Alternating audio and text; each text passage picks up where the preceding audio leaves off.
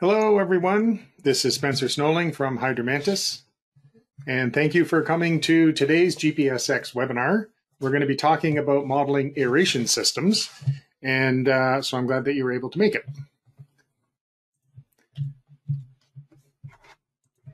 My name is Spencer Snowling. I'm VP of Product Development at Hydromantis and the guy that does uh, many of the webinars that we do here as part of our regular webinar series about once a month. We come on and tell you some information about either some feature of the software or some modeling aspect and um, uh, answer some questions and run some desktop demonstrations in order to uh, let everybody know about all the uh, features and advanced modeling stuff that's available for you to use in your software.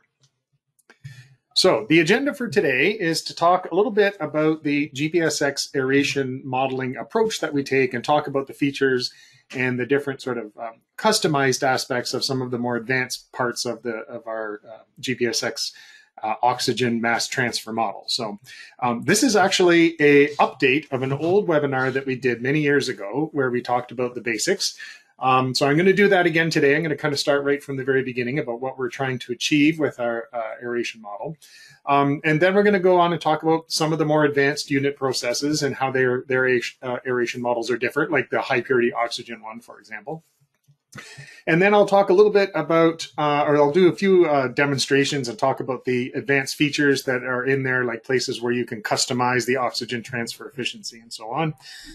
And we will also talk about the tips for setting up aeration systems. These uh, aeration models are actually one of the more complex parts of the of the software. There's a lot of different things you can do. We've we've developed it in a way that allows you to model a lot of different types of aeration systems all together in one unit process. So uh, you'll notice that the uh, the menus are actually fairly lengthy and there's a lot of parameters to look at. So we'll go through all that today so you'll know where to look for what you want to find.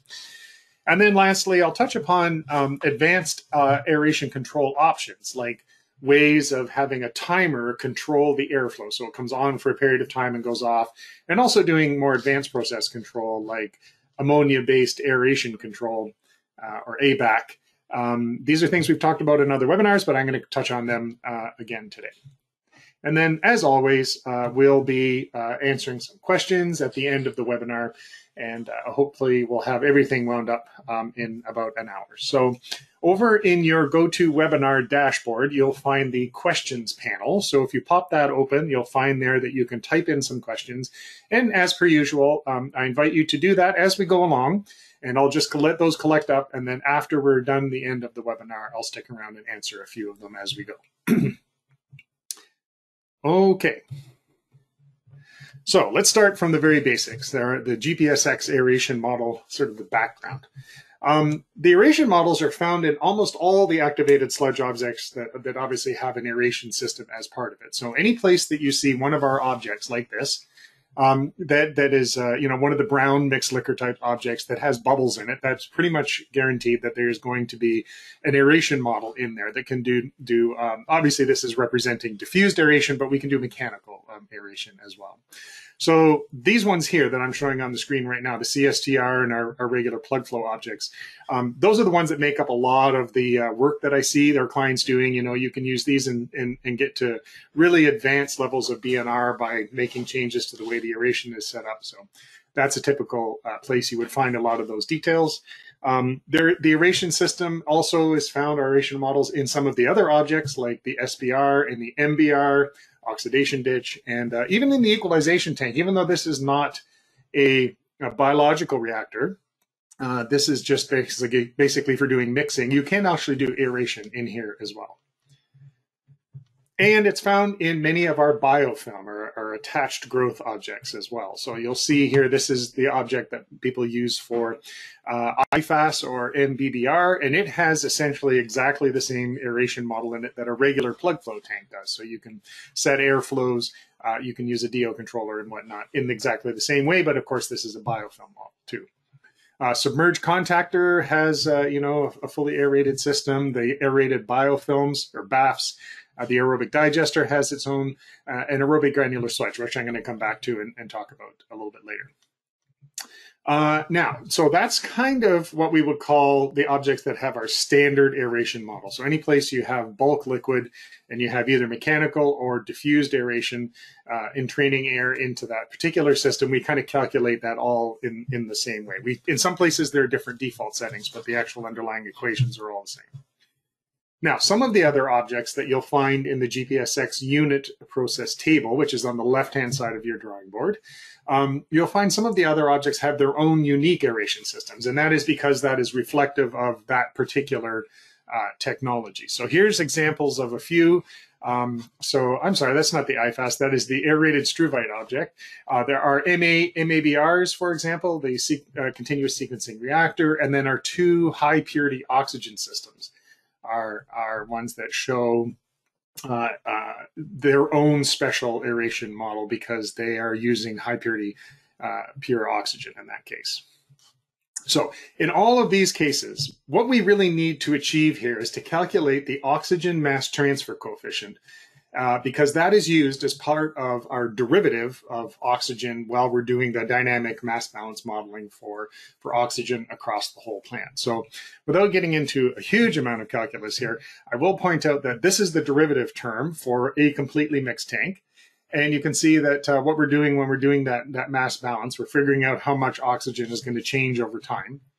It's a, the amount of oxygen coming in and the amount of oxygen going out. and those cases, we're multiplying the concentration times the flow. And then this term, which is the amount of oxygen that is added to the system from the aeration system, and then uh, plus or minus the biological reactions themselves. Now, really, this is the one that is what this webinar today is about, is trying to figure out how much oxygen is going to be added to the system through the aeration. And particularly, we're really after getting this oxygen mass transfer coefficient here. So KLA, we're going to talk about that. It's going to be available in the menus for you to plot and, and, and, and play around with.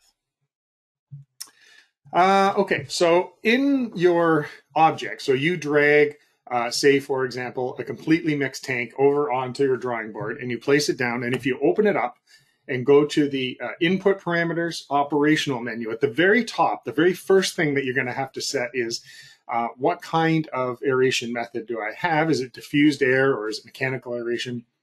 And then we allow you, we either whichever one you've picked there, we allow you to either specify the airflow or, or mechanical power, uh, use a DO controller, or specify the KLA directly. Now, almost everybody uses either entering the airflow or the DO controller.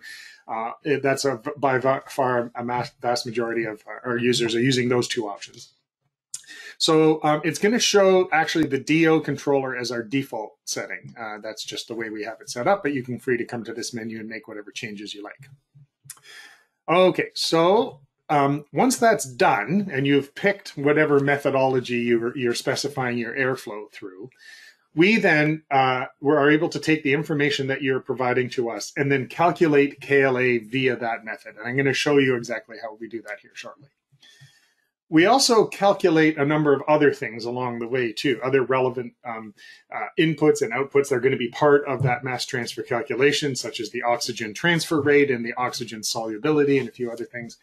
Um, and um, and you know we can if you have the DO controller on, for example, we'll you'll be we'll be calculating the DO, uh, of course, but then we'll also calculate what was the airflow that was required by the DO control system to be able to meet that that set point.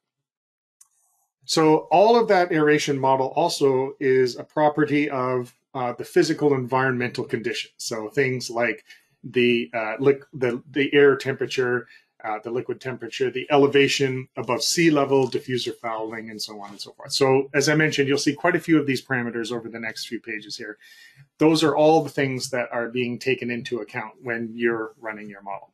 So the good thing is because we are taking all of those things into account, you can actually see outputs for either standard airflow or field airflow because we can display both of those things. We're calculating them both. Okay, so what I want to do is a very sort of as quickly and easily as possible to go through our aeration calculations. Now, Um, I will mention here, uh, I'm not, I've taken out all the parts where we're uh, dividing by 24 to go from hours to days and, and, you know, converting units. Really, I'm just throwing up the parameters and the calculations that are happening. So if you want to see the actual equations that we're using with all of the uh, unit conversions and everything else in there, uh, please go to the technical reference guide. At the beginning of the section on activated sludge, you'll see all of the details. There's actually quite a few pages of it about how our aeration model works under all these different conditions.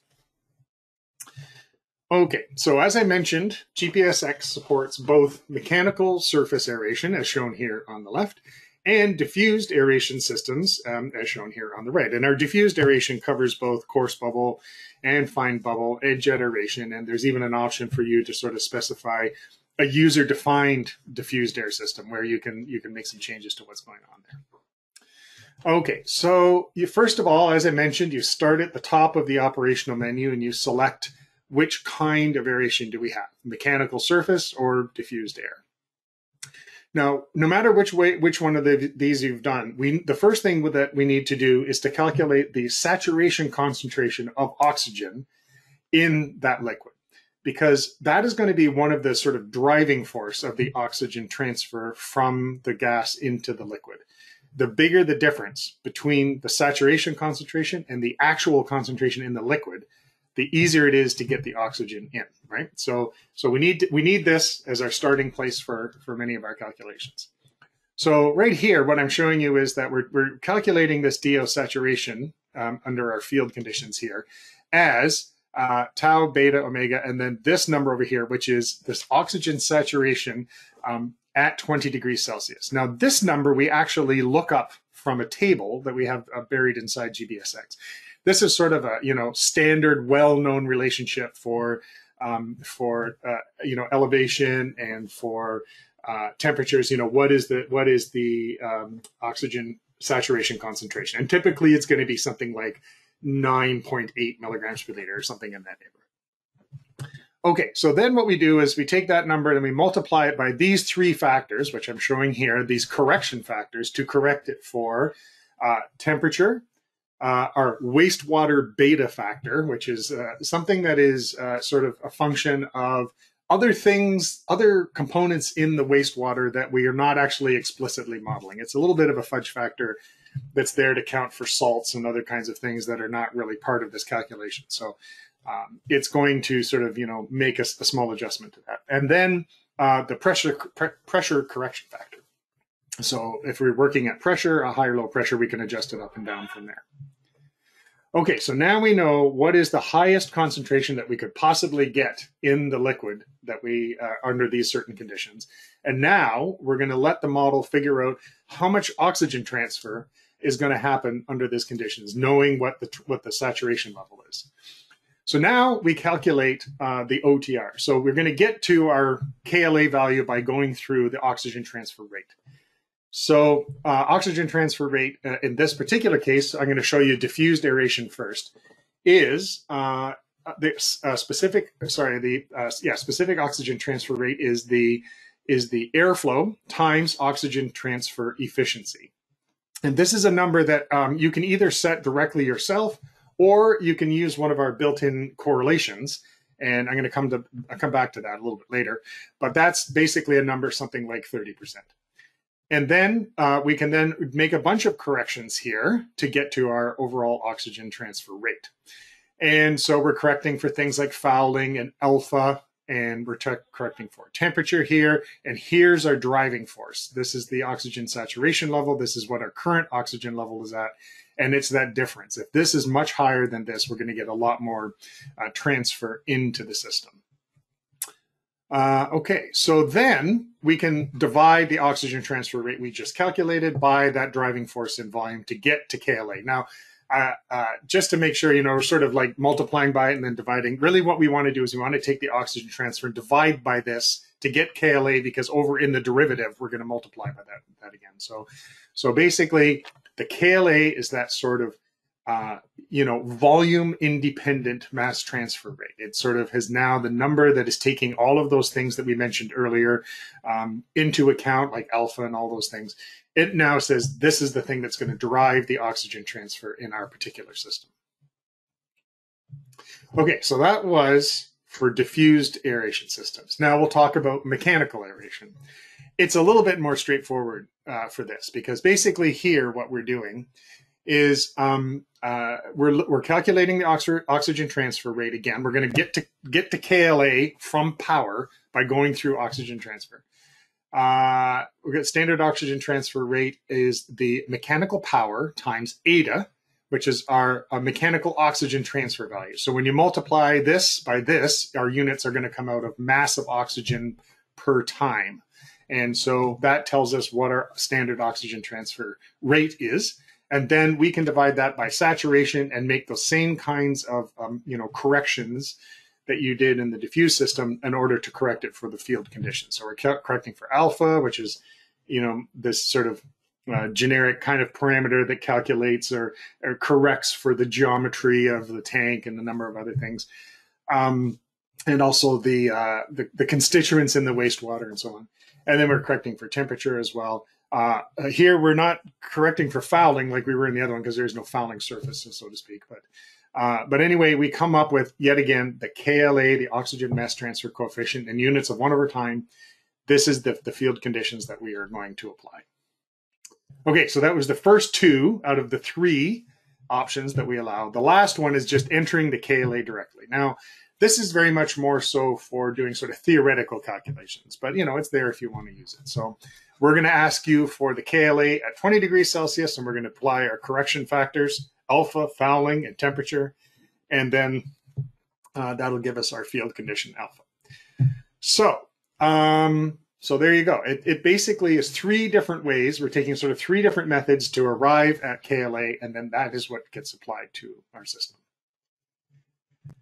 Now, that's what you're doing when you're specifying, uh, I'm going to drive the aeration through the aeration system options that I'm, that I'm given here. I know that I'm going to be applying a certain power, or I know that I'm going to be applying a certain airflow, and then I just want to see what does the DO come to.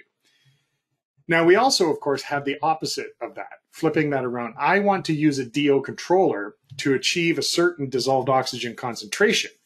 So we're going to be tackling those same equations, but in the backwards order, right? I already know what the DO I want to be in the tank is. How much airflow is required to do that? So instead of entering the airflow in this menu, I select use the DO controller instead. In fact, that is actually at the default setting. So uh, I'm going to use a DO controller. I want GPSX to calculate all that stuff and tell me what airflow is required to do that. So the way it happens in the background is the, the KLA is actually directly manipulated by a PID control loop. And you actually have access to like the tuning parameters and the sampling interval and all of that stuff for that PID controller. It's just farther down the menu under the more button here. The main thing you need to set is the DO set point. And if you click on this more button, it'll open up, you know, sort of our typical PID control loop menu. And you'll see all of those things like gain and integral time and so on. Um, you can make adjustments to those. I think over the years, we've kind of uh, got most of those default values into a really good place for the different kinds of objects that we have. So, so generally, you should, for the most part, find your DO controller will work nicely just out of the box. But if you find it's a little sluggish or a little over aggressive, you can pop in there and and adjust it.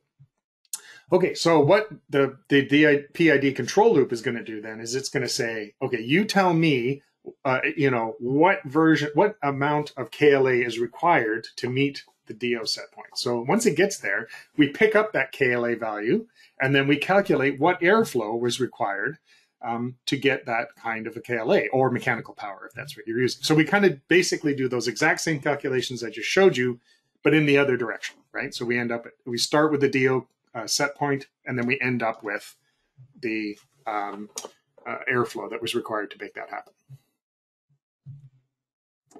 Okay, so what I want to do now is a really simple uh, uh demonstration here. Okay, so this is my uh, GPSX. I've put down the simplest of simple activated sludge systems here. Um, this is a, an influent object that represents the flow coming from a primary uh, clarifier. It's going into this aeration tank. It is then going into this uh, secondary clarifier here. And uh, we got the recycle, of course, and then onto the effluent. So really, this is all I really need to, to play around with in terms of looking at an aeration system. So here, uh, this is of course four reactors in series by default. And if I open up this menu, uh, I'll just very quickly take a look here. You can see that I, I have selected uh, default air, which is our, our, our uh, sorry, diffused air, which is our default setting. Uh, entering airflow, which means I'm using a constant amount of air. And in fact, that is 20,000 meters cubed per day. And also, I'm going to evenly distribute that amongst those four uh, tanks in, in, uh, in series there. So this, of course, means that I'm dividing it evenly. You probably wouldn't run across that necessarily all that often in, in reality, but this is a default setting that we have, have put in here. Of course, you might might more frequently see a little bit more of the air being put up towards the front of that plug flow tank. But for now, we're just going to leave it like this, and uh, we can see how that will work. Okay, so I'm going to pop over here, and I'm going to run a steady state uh, solution to the model. And now well, let's take a look at what aeration information we have available to us to be able to plot. So I already made bar graphs here. So just to make sure you're you're familiar with how our bar graphs work, um, there are four bars here going from left to right, and they represent these four reactors in series. So this is the inlet end, and it goes this way, and this is the effluent end here. So we can see, uh, for example, in this DO concentration that the dissolved oxygen is actually much lower at the front end of the tank than it is at the back end. And in fact, if you just click on the bar, it'll tell you. So it's like 0.15 at the front and it's like 5 at the back. So, all right, so that's what you would probably expect because all of the load, all of our carbon and nitrogen and everything coming in is at the front end here and it's going to get used, it's going to use more oxygen at that part. There'll be less uh, growth happening in the latter part of this tank. We can also take a look at the airflow down here. So as I mentioned, we have chosen to, to evenly distribute the air in all of these tanks. So each one of these is getting 5,000 meters cubed per day. That's that whole 20 that I specified divided by four. Now up here is the KLA. So this is the mass transfer oxygen that is being calculated. Uh, these are all available for you to plot, by the way. If you right click in the middle of this tank, go to output variables, go to oxygen transfer, all of this stuff, airflow, uh, you know, alpha, oxygen transfer efficiency, all of these things are all available. Just grab one of these and drag it over onto a bar graph. Okay, so here's uh, KLA. This is our oxygen mass transfer coefficient that is being calculated from our constant airflow. And you can see here that um, right now it's actually lower in the front and bigger in the back. So, so why is that? That is because by default, alpha is lower. The alpha values that we use in a plug flow tank are lower in the front than they are in the back. And that sort of represents the, the dirtier wastewater coming in the front of this particular system. Now you're free to make changes to that if you want. If you want to use an even value of alpha, say 0.5 all the way across the board, that's uh, totally fine. We've kind of make it so that by default it's tapered um, a little bit. So, and that's why this is, is looking like that. And then lastly down here, here's our oxygen transfer rate. So, so basically we took this airflow, we calculate KLA, and then this oxygen transfer rate was how we got there. Uh, the oxygen transfer rate is actually showing in this particular case, that's actually most of the transfers happening here. Uh, the reason for this, the, this kind of hump in the middle is actually quite interesting. Here, um, we'll note that at the front, actually alpha is lower. So our oxygen transfer is actually lower in the front. Um, but at the back end, where we have loss of oxygen, at the back end, we're actually not as much oxygen being transferred. And the reason for that is that the driving force is not as much at the back end. There's a lot of driving force at the front here because our oxygen saturation would be way up here, close to 10.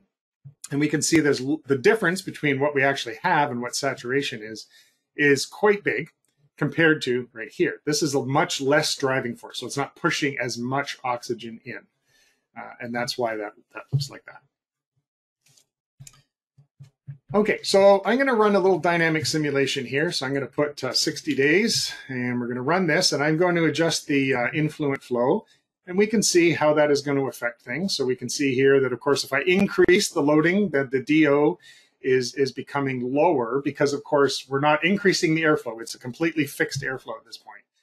So if I lower it down, you know, the amount of uh, residual oxygen will be increasing. the amount There's less left over, right? So, so that is sort of an example of, of what happens if you have a changing load. Uh, you know, with a fixed airflow rate, your your resultant D, uh, DO is going to go up and down accordingly. and this didn't change because uh, it's a fixed rate. So I'll also show you another example of this, uh, but let's put the DO controller on this time. So by the way, on this menu here, I've actually dragged many of the items from our operational menu up here as sliders and little drop-down menus just to make it convenient. So I'm going to put the DO controller on this time and I'm going to run another 60 day simulation. Well, let me pause this for a minute. Obviously, you can see right away it's different. Now, with the DO controller on, it's two milligrams per liter across the board here, right? So that means the, the DO controller is come to life. It is now finding whatever KLA value is required in order to get two milligrams per liter of residual DO. So given that, we can see, of course, that we can then calculate what was the airflow that was required to make that happen. And of course, now it's not even across the board. It's all of the loading is up front. So therefore, all of the air required is in the front end of that tank. Uh, okay, so so we've got these um, uh, idea here. We've got this um, uh, uh, system set up so that we can run it either as constant air or we can run it with the DO controller. And uh, you can set up whatever that you like. And of course, you can change your DO um, uh, set points here for each individual reactor. Okay, let's go back to our slides. And now I want to talk a little bit more about the advanced features. Uh, uh, I'll call them advanced features, the more detailed features of our uh, aeration model. So most of these features are found in the uh, input parameters, operational menu, and then they're found under one of these more buttons. So the purpose of the more buttons is so that we didn't have too many pages of parameters all together in front of you at one time. It's sort of like the less commonly used ones will be found in the, in the more button. Okay, so if I go to the diffused aeration more button here, and I press that, I will see a fairly lengthy menu that has different sections where you would describe the nature of the diffused air system. So one of the first things you can do is specify what kind of uh, system it is. So is it fine bubble, coarse bubble, uh, jet aeration, or user defined? And then from that, uh, you can set the alpha value and you can set the fouling constant. And you can also, oh, sorry, I should mention that we do have different alpha values for different types of diffused air technology here. So you can see there's fine bubble, there's coarse bubble, uh, jet aeration, and so on. And you can see here the standard oxygen transfer efficiency is also something that you're required to set through this menu. So uh, there's two different options here that I would like to point out. So first of all, this standard oxygen transfer efficiency is right here. It's set at 30% by default which is a reasonable number. Um, but you can either set it as a constant, meaning it will always be 30% all the time, no matter what's happening in the system. Or we can calculate it from a correlation. And the correlation is a uh, oxygen transfer efficiency that comes from airflow rate. It, it varies with airflow rate, uh, depth of the diffuser. So as, as, there's more or less water sitting on that system, uh, the type of diffuser and the diffuser density on, on in the grid on the floor of, this, of the tank. So uh, right now I'm showing this screenshot right here is when we are using that correlation. So instead of setting it directly, it's now asking you for all this other information, uh, which you can use. And so uh, what this leaves you with then is a kind of a dynamic uh, oxygen transfer efficiency. As your airflow goes up and down because loading is changing or what have you, um, you can get different oxygen transfer efficiencies. Now, by default, under the default settings, they don't differ a great deal from each other, whether you use the constant value or the correlation. But you know, once you sort of um, venture outside the, the standard default settings, then you might find that the correlation uh, will get you closer to where you need to be. Now, lastly, I'll mention we did have that uh, user-defined diffuser type. So if you're using something a little out of the ordinary and you want a little bit more control over, over the oxygen transfer efficiency, you can select user-defined You'll get your own user defined alpha factor, which you can change. And then uh, your SOTE, your oxygen transfer efficiency correlation, is now something that you can you can actually make adjustments to the parameter values that make up that uh, equation. Um, uh, so if you look in our GPSX technical reference, you can see all the details if you want to go to this level of, uh, of customization of your system. We even included an extra term on the end for situations where the uh, oxygen transfer de deficiency is at for very, very deep tanks, greater than eight meters deep. Um, it's sort of the, the relationship kind of changes when you get down uh, that deep. Okay, so that tells you sort of how you can set up within one particular object, how you can set up the aeration system for, and I spent quite a bit of time on the diffused air version uh, because it has the most uh, stuff that you'll need to keep in mind and, and so on. Now, whether you've used uh, diffused or mechanical aeration, you can actually apply um, some limits here. So I'm going to show you the airflow limits. So say, for example, I want to run my system and I want to have a DO control on, but I don't want, you know, I have a limit on how much air I can I can blow into the system. So I want to set like an upper limit on airflow. If you go to the system input parameters simulation run setup menu, you'll see here that we have this thing called apply aeration limits and it's set off by default. But you can turn that on and what you will then have um, is turn it on there and close that menu. Then any one of the objects that you open up, any one of your bioreactors, at the very top of that more button under diffused aeration, you'll now have access to uh, minimum and maximum value for all of the different kinds of, of, systems. So one of these will be lit up here. So I'm showing you the version for fine bubble aeration. And this is airflow per diffuser. And then, so what'll happen is it'll always max out at this value. Is it'll it'll never allow the DO controller to take you above that level. So what that means is you might not meet your DO set point, but at least it'll cap it at what the physical constraints of your of your system are. so not a feature that everybody uses very much, but it's there if you need it. Okay, so um, I will mention that uh, every place that we do aeration, we also do our standard energy calculations as well. So all of that detail about how much energy is required to provide the uh, airflow that the blower is blowing in for this particular system is uh, right click on the object, input parameters, operating cost menu. And then you can specify here some details about pressure drop and all, most importantly, the, the, you know, the combined efficiency of delivering that air. And so we've got some default settings in there as well. You can play around with those. But the idea is whatever the airflow rate is, we'll calculate how much uh, energy is required to be able to push that amount of airflow against the amount of head in the tank and then we accumulate that and it becomes part of our overall plant operating cost summary.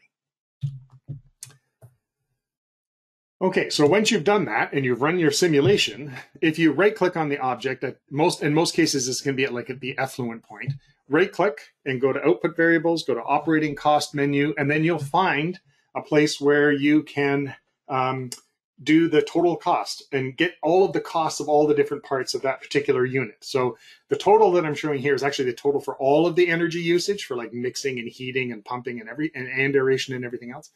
But you can see here that uh, for this particular part, you can just look at the energy by itself. This is actually a fairly long menu where we break out all the parts.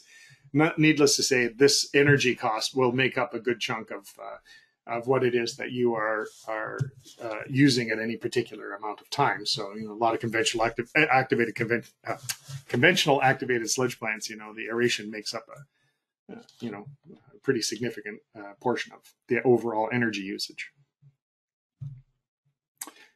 Okay, so that is up to this point our standard what I would call the standard typical aeration system that you can access in at least a dozen of our objects, or even more probably. Uh, the convention, the CSTRs, uh, the plug flow ones, the IFAS, and all of those ones, they use that system that I was showing you. So I want to touch on a, a, few of the special and unique aeration models that are that are made up, and the objects that are you know have a real focus around a specific uh, you know type of technology that's really there to kind of optimize some aspect of the treatment so uh, so these ones are probably places for the most part places where we took that standard aeration model and now we've enhanced it or made some changes. I certainly don't have time to go through them all. Um, in fact it's for some of these objects we actually have entire webinars on our youtube channel about each one of these objects. But i'll just summarize a few things here as we go. Uh, so the continuous sequencing batch reactor object is, is this one, which you'll find, I believe it's at the bottom of the uh, suspended growth uh, group. It is actually, despite the fact that it looks like an oxidation ditch, it isn't. It's actually a round reactor where this particular arm moves around inside the system and the diffused air system is actually attached to the part that moves around. And the idea behind that, of course, is that you can then have some of the tank, whoops, Some of the tank being aerated, you can see these trailing bubbles here, and some of the tank will be anoxic, uh, depending on how it goes. And so uh, there's also a fairly significant um, uh, airflow um, controller system built into this particular object where you can have the timers go on and off and it can actually do hitting high and low limits and so on. It's there's quite a lot in there. The operational menu for this is fairly lengthy with a lot of interesting stuff.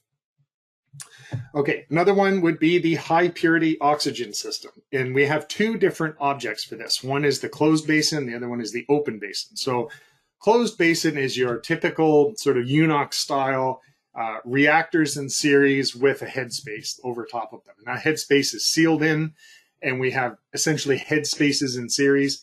And so uh, typically we are having uh, mechanical aeration in the liquid, so it kind of throws it up and it's entraining the, the gases in the headspace down into the liquid that way. So you have a gas feed that comes in that you have to specify, and the idea is here that you're going to have that high purity, you know, 95% oxygen kind of uh, gas. And then we also include in the model then all of the gas transfer that we would have in most of our models uh, but in this case, it's to and from the headspace. And then we're also modeling the concentrations in the headspace in series too. There's also venting at the end, and there's even the ability to actually put in some leaks in here as well. Um, and there's some pressure control and a few other things happening. So it's a fairly sophisticated model unto itself.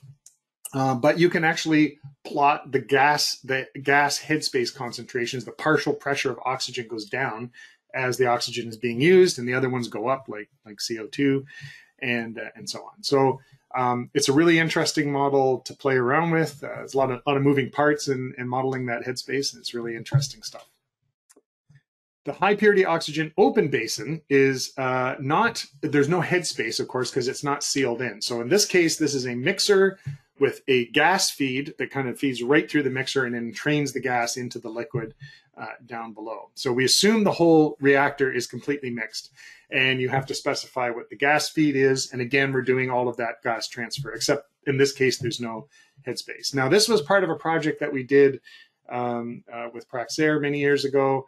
Uh, and so it actually has quite a bit of other stuff in here too, if you ever want to take a look. Uh, there's a lot of temperature modeling going on in here, and the temperature has an effect on the biomass and so on. It's also one of our more interesting uh, objects. Uh, and the plug flow tank with aeration header. So um, you'll find this actually right under our other regular plug flow tanks in the suspended growth group. It is, as far as the process goes, as far as the actual modeling of the activated sludge, it's actually the same as a regular plug flow tank model. In fact, the actual biological part is exactly the same code.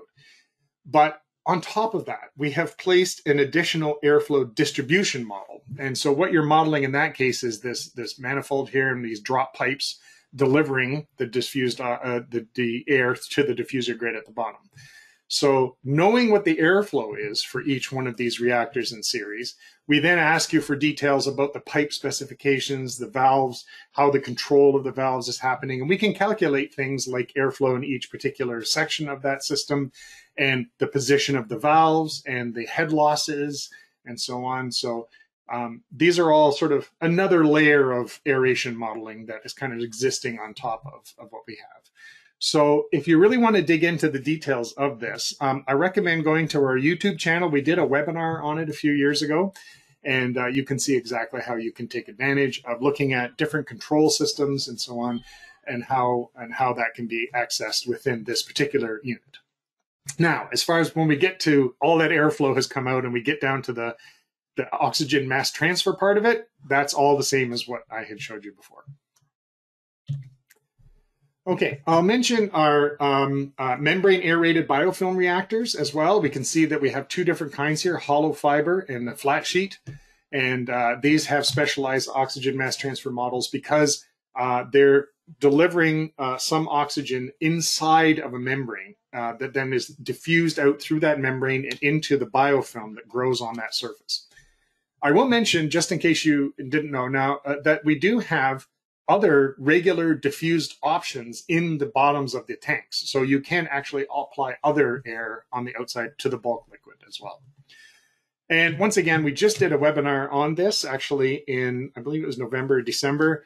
Uh, and we went through all the details of, of how our MABR models work Um, and so therefore, uh, you should be able to see um, a lot of uh, uh, details about like there there's the the oxygen transfer from the oxygen system into the bulk liquid and then from the bulk liquid into the biomass and then from the membrane of the biomass. There's lots of lots of terms in the, and to keep track of in this particular mass balancing of oxygen in these systems. We also have our relatively new aerated granular sludge or aerobic granular sludge if you like uh, that is uh, uh, the Nereda type system. And so this one has a very similar aeration setup to what we have in our SBRs. And that's because it is a, a cyclical type of operation. We have filling and loading, and we have uh, aerated periods and non-aerated periods and so on. So, so when you open up the operation menu, you'll find that you have to specify how late, how long you're aerating for, and that at what airflow rate as well. So just kind of follow the idea of what you're doing in, in the SBRs. And if you want to pop into a really good SBR uh, uh, webinar, that's the one we did last month, and it's on the YouTube channel as well. Uh, aerated struvite recovery, uh, it has its own model. It's actually pretty much our standard model. It just has different default settings for oxygen transfer efficiency and alpha and so on as well. Okay, so there are lots and lots of objects, as you know, in GPSX, and very large number of them have aeration systems already kind of built into them there. And uh, so you'll see that we've got that sort of standard approach. We've got all those specialty objects with their own special aeration models. If you ever have any questions about how any one of those in works in particular, the best option is to look at the GPSX uh, uh, technical reference, which you can get at from the help menu and then find that in there. Or if you have any other questions, of course, you can always email us at support at hydromantis.com and we'll be able to answer that. Okay, how am I doing for time? I got 42 minutes after the hour. So what I'll do is I'm going to just uh, also discuss a few advanced aeration control options because they're relevant to setting up your diffused aeration system. So uh, I think I think most of the examples I've got going along here uh, from now on are all pretty much diffused air. So um, the reason that I wanted to bring this up is that this uh, uh, object here, this process control object, is one of several that are available for you to put on your drawing board and use it to control the airflow in interesting ways. So this would be places where we want to do process optimization or they're, uh, you know, changing instead of just blowing a constant amount of air all the time, you can make it change automatically. You're building the control into the system. So this is kind all of our plants uh, sorry all of our objects have those regular do controls built in but this is maybe going a little bit beyond that so in this case for the timer controller which looks like this it has this sort of square wave on it um, this is the kind of thing that you could for example say i want to have air on for 20 minutes and then i want to have air off for 20 minutes and then just keep repeating that pattern so you would drop this object on the drawing board you would specify here in the manipulated variable the label and the variable name of the thing that you want to control. So in this case, we want to control airflow. So what I would do is the easiest way to figure out what this word is, this, this is called the cryptic variable name, is to actually just uh, go to the airflow menu item and right click on it. And then it says copy cryptic variable name and then come back here to this menu and paste it right here. That'll say I want to control that particular object. Then I can set the total cycle time and then the on time within the one cycle. So a total cycle of 40 minutes, and then I want it to be on for 20 of those 40. And then you say, what is the value of this variable while it's on and while it's off? So that allows you to just basically repeat the same pattern over and over again while it's running. So and there's a couple examples of alternating aeration systems uh, for doing nitrification and denitrification in our sample layouts menu. Okay, we have another one uh, that looks like this. It's called the on-off controller. It probably really should be called a high-low controller because it doesn't actually have to go all the way to off. But nonetheless, what it do what it does is it you specify some high and low limits here. That's what would be represented by these black lines in this particular item here. So so what you do is you say I have a high and low limit that I want to keep my control variable in between. In this case, I'm going to say effluent ammonia and then I set the sampling time and so on. And now I'm going to be adjusting the airflow uh, to try and keep ammonia within that bound. You got that high and low limit. I keep it in that band. And what you do is you basically set some airflow rates for when it hits these particular limits. So uh, when the when the control variable hits the low limit, So when we got very low ammonia, I'm going to go with, well, probably at that point we're nitrifying fully, so I'm going to back off the air a little bit. And then when it hits the high limit, when it, when it's not nitrifying enough, uh, that means I want to actually go with the higher airflow value. And then this is what, what it should be when this is turned off. So therefore, what you tend to find is it kind of bounces back and forth or moves, roams around within this uh, particular setting. So uh, this is a nice, easy controller to set up and play around with, and uh, you can combine it with, with other types of controllers as well. And in fact, that's what this slide is all about, doing ammonia-based aeration control, or ABAC for short. Uh, we have lots of examples where you can link PID controllers in series. And the way you're linking it is that you say, I'm going to have one uh, controller that is going to set the set point of another controller. So in this case, the ammonia controller is looking at the uh, effluent ammonia, and then it's going to feed a DO set point into the, the DO controller, which is then going to change the airflow to meet that set point. So uh, you can link these things. It's called, you know, cascade several of these things together. There's lots of really interesting ways that you can combine these types of control systems together. This screenshot is from one of the examples that we have in our sample layouts process control group. There's five different layouts there with different types of uh, controllers put together. And uh, also, once again, I will recommend our implementing advanced process control webinar that's on our YouTube channel and we did that uh, last summer. And so I, I, in fact, have several examples of A, ABAC and AVN and other discussions about how uh, you put these types of controllers together in GPSX. Okay, so let's wind things up with talking maybe about just a few tips um, on putting these aeration systems in place. Uh, so we're going to start by saying, you know, when you're setting up a BNR system here, and you've got uh, for say this type of design here, uh, we've got five discrete zones that we want to be able to define in the model. So, and they're of different volumes. Uh, the, the, easiest and most straightforward way to do this is to set up uh, the numbers of reactors in series as whatever the number of zones are. That it's kind of a standard way to do this type of modeling.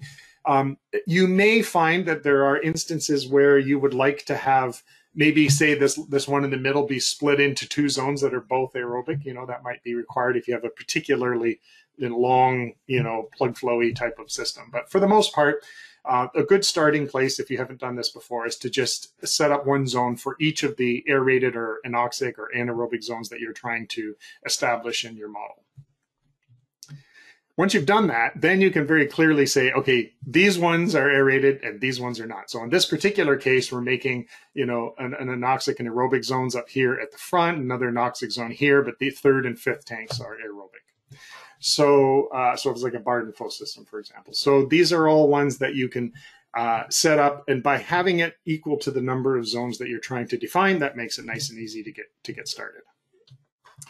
So the way that we often recommend to people, now this is not, it doesn't have to work this way, but we do recommend to people that when you're trying to calibrate your aeration model, it's often useful to sort of turn on the DO controllers to begin with, set them to what the average DO airflow was, sorry, the DO was during uh, the time of the, the data that you're trying to calibrate to, and then let it predict what the airflows are.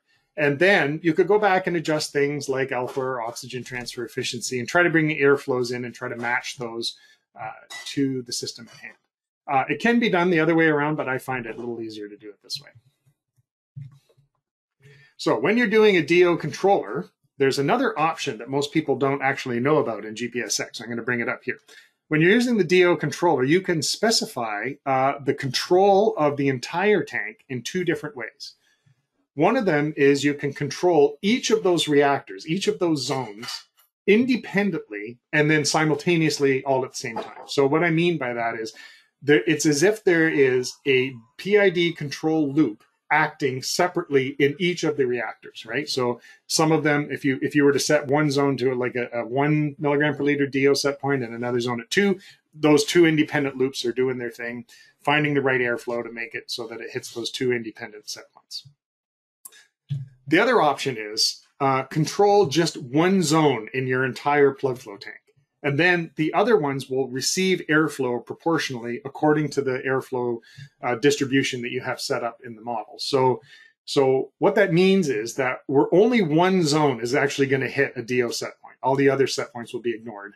and the rest of the tank will just go up and down accordingly uh, to try and hit that one set point that we're focusing on. So again, you have to go to the uh, diffused aeration menu. You have to go to the DO control settings and then hit the more button and then come here and you'll find this thing called control cell. Now by default, it's going to be at zero. By zero, we mean control all of the cells independently from each other. So each one has its own set point. That's the way most people use it. But if you needed to, and actually I did have a project last year where we did this, uh, I, you know, this might be a system where uh, your particular plant out there in, in, reality, the facility has a long plug flow tank, but they only have one DO probe, and it's like in the middle of the tank, for example. Well, then therefore, uh, you know, they only know one DO value that they can control to. So they set their set point for that, that particular point. All the rest of the airflow that comes into the diffuser grid goes up and down depending on trying to hit that one set point. And that's how you would do that right here. So um, one, I can actually show you an example of that. I'm going to go back to our GPSX model. I'm going to reset it, and I'm going to run uh, this DO set point here. So just to start, you can see here, for example, this is the way it's conventionally set up. All of these particular reactors are all set to 2.0. And uh, it's got different airflows in each reactor, making it so that these all are going to hit their, their set points. So I made a scenario where we're going to do it the other way. So now in this particular scenario, let's open up this uh, operational menu and we can look at, uh, we're using a DO controller here. And if I go to the control more button, we'll see here that now I'm actually got this set for two. What that means is we are only going to meet the DO set point in the second reactor out of those four. And the idea is here that that's maybe the way this is set up at that particular plant. They're the only place that we actually have a DO controller for. And all the rest of the distribution of air is following these air distribution fractions, which we will have specified actually out here on this menu. And as we established earlier in this particular example, I'm just dividing up all the airflow evenly amongst the four reactors in series. So it's going to come out looking different. It's going to look like this. So you'll see here that uh, the, air, the airflow is being evenly distributed, but we are doing DO control and it is matching this one, bang on to two milligrams per liter. The other set points are being ignored.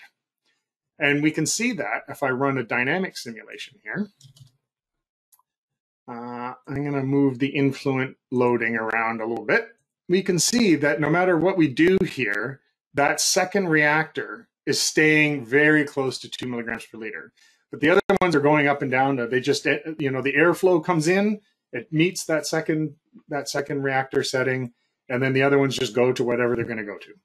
And so that's a, a, you know an interesting aspect of being able to play around with the DO control options in a particular facility. Okay, back to the slides. Okay, summarizing everything.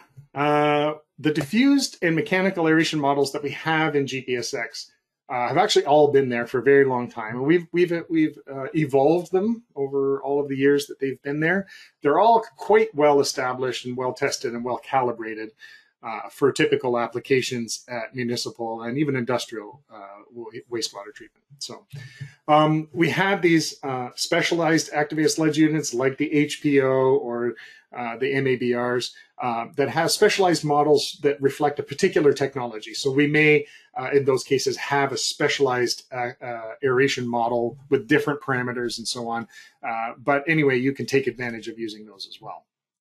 There are a lot of simple DO control options that are built into, into the individual unit processes, like that menu that I was just showing you right there. And then lastly, uh, the advanced DO control can be done by putting your plant on the drawing board and then going and getting some of those process control uh, controllers and dropping those onto the drawing board. They don't they don't physically get connected to anything. You just fill in the menus. So doing ABAC or AVN or you know any sort of those cascading type uh, controllers where you're where you're feeding the one controller is driving the other controller, which is then driving some part of your process.